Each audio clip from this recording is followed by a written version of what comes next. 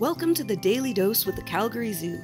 I'm Lea and I work with the Conservation Research Team and lead our Northern Leopard Frog project. Northern leopard frogs are found across Canada and are an important part of the wetland ecosystems where they live.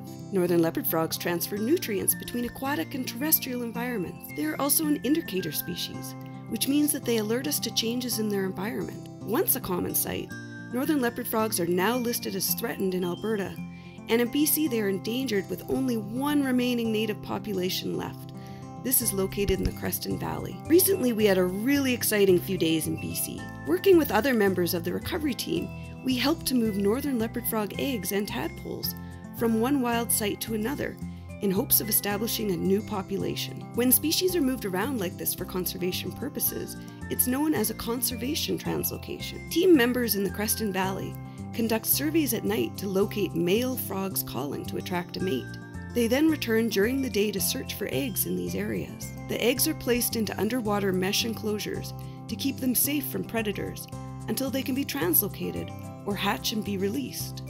Portions of some of these eggs or tadpoles are transported in water coolers from the Creston Valley to the release site located in the East Kootenays. Once they arrive, we gradually replace the water in their coolers with water from the release site so they can adjust to the local water conditions. Similar to Creston, we place eggs in mesh enclosures to allow them to safely hatch and get used to the site without the threat of predators eating them.